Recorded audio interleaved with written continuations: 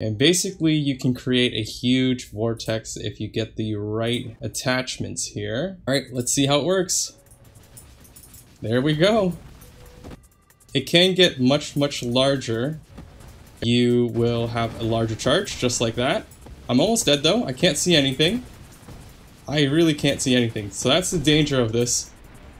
You, uh, you can't see much once you get really, really silly. Oh, oh, oh, shoot! Where am I? Okay, blink out of here. Ooh, that was spicy. Uh, what, what is happening?